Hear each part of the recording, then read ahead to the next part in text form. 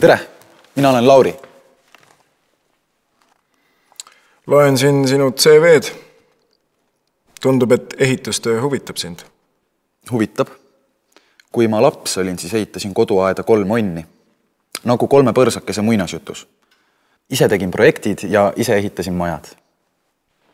nii, nii. huvitav, kas mõni nendest majadest püsti ka jäi? jäid.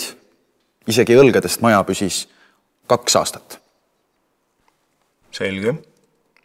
mida ootad meie pakutavalt töökohalt? ootan huvitavat tööd, head meeskonda ja väärilist palka. töö on huvitav, meeskond on hea. palk sõltub sinust enesest. mis on su tugevad küljed? ma arvan, et kiire õppimisvõime ja rahulik iseloom ja huvi töö vastu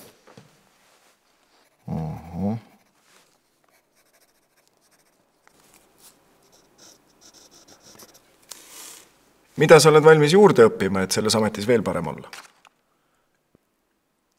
Inglise keelt, seda läheb ikka vaja. tubli, tubli.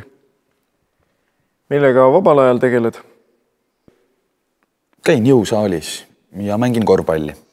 täna lähen Tartu meeskonna mängu ka vaatama. ohoo, nii et spordipoiss.